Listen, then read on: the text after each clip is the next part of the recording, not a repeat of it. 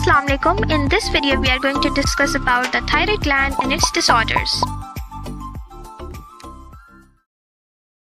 Thyroid is an endocrine gland in the neck consisting of two lobes connected by a thin band of tissue called the thyroid isthmus.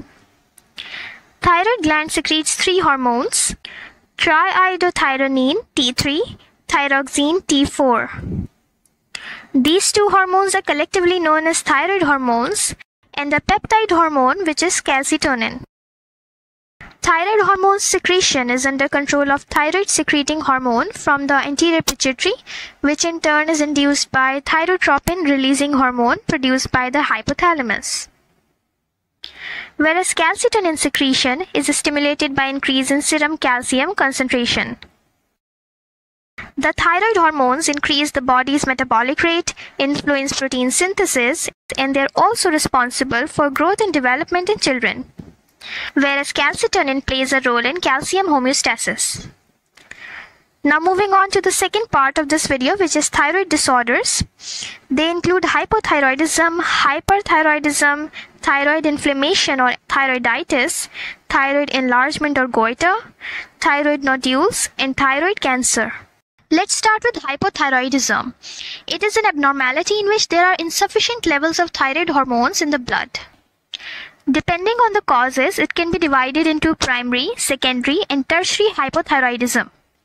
When the abnormality is in the thyroid gland itself and it is not producing enough hormone, then it is known as primary hypothyroidism. And when the thyroid gland is normal, but it is receiving insufficient stimulation because of low levels of TSH from the pituitary, then the problem is in the pituitary gland and it is known as secondary hypothyroidism. In tertiary hypothyroidism, the problem is in hypothalamus. So there is inadequate secretion of TRH leading to insufficient secretion of TSH, which in turn causes inadequate thyroid stimulation. So talking about primary hypothyroidism, its most common cause in developing countries is iodine deficiency, whereas in developed countries, the most common cause is an autoimmune condition which is Hashimoto's thyroiditis. Other causes can be goitrogens, which are substances in some foods that disrupt the production of thyroid hormones. Excess iodide can also decrease thyroid hormone levels. Hypothyroidism can also be congenital, like in case of thyroid dysgenesis, where the thyroid is missing, ectopic, or severely underdeveloped. Or in case of thyroid dyshormogenesis, where the thyroid is present but not functioning correctly which can be due to genetic deficiencies in enzymes involved in hormone synthesis. Some iatrogenic causes for hypothyroidism are thyroidectomy, radioiodine ablation of thyroid gland, and certain drugs can also cause hypothyroidism like amiodarone and lithium. Now let's look at the forms of hypothyroidism. When it is congenital or occurs during neonatal development, then it's known as cretinism or infantile hypothyroidism. While the adult variant is adult hypothyroidism, and when it is severely advanced, it is known as myxedema. Let's talk about cretinism first. It has two types, endemic and sporadic.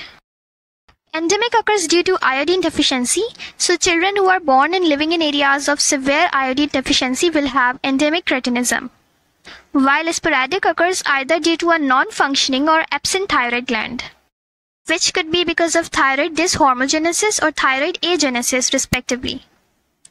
Now the infants born with hypothyroidism are often described as good babies because they rarely cry and sleep most of the time. Clinically, they have macroglossia, which is large tongue. It is because in hypothyroidism there is deposition of mucopolysaccharides in tissues of the body. They pull fluid and cause edema. So when it occurs in tongue, it causes macroglossia. They also have umbilical hernia, mental retardation, short stature, and coarse facial features. The diagnosis is confirmed by low levels of serum thyroid hormone and elevated TSH levels. And the mainstay in the treatment is early diagnosis and thyroid hormone replacement therapy with levothyroxine. Moving on to adult hypothyroidism, in general, the patient will have weight gain, cold intolerance, and fatigue. All this due to decreased metabolic rate. They'll also have dry skin, dry hair, alopecia, hoarse voice, and periorbital puffiness. The reason for periorbital puffiness is as the same for macroglossia. As I mentioned, there is deposition of mucopolysaccharides. So when they're deposited around the eyes, they pull fluid resulting in periorbital puffiness. Another feature which is caused by this factor is carpal tunnel syndrome. If the edema or fluid retention occurs around the nerves of the hand, it can put pressure and compress the median nerve, leading to carpal tunnel syndrome, and the patient will complain of pain and numbness in the hand or arm. Patients with hypothyroidism also have delayed relaxation of reflexes. Let me show it to you. This is a video of an ankle jerk and just notice how slowly the foot comes back to its original position. This is not normal. The relaxation is delayed and it is a sign of hypothyroidism. And it is also the most useful clinical sign for diagnosis. Now this is the same patient after treatment of hypothyroidism and you can clearly notice the difference in the speed of relaxation. Now if we talk about individual system, considering heart, the patient will have diastolic hypertension with bradycardia. The GIT symptom will be constipation and menorrhagia relating to the reproductive system. For the diagnosis, TSH is the most useful investigation for both hypo and hyperthyroidism. It also helps to distinguish between primary and secondary hypothyroidism. And depressed T3 and T4 levels also indicate hypothyroidism. Treatment will be given with oral thyroxine or levothyroxine 0.1 to 0.2 mg as a single daily dose. And if a rapid response is required, triiodothyronine or liothyronine can be used with the dosage of 20 microgram TDS. The last one is myxedema, which is severe hypothyroidism.